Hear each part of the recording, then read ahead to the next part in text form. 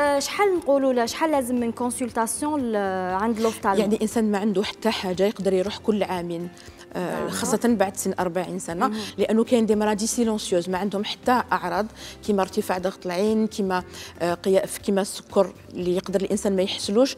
كاين عدة أمراض ما يقدرش يعرفها الإنسان حتى ي consulter donc الإنسان اللي ما عنده حتى حاجة ويقول لك راني نشوف 10 على 10 déjà pour le renouvellement du permis مهمة.